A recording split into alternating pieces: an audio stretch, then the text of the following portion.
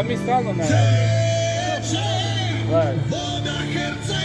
Jesu to demokratski izbori. Da mi ne možemo jednu sekundu dobiti. Ni na jednim medijima. Gospodine, u to ne e, Dobro, ali ne znam zbog čega vi ste uopće tu. E, idete i drugim strankama. E, idete drugim strankama. Adete sam ti da snimaš odmah.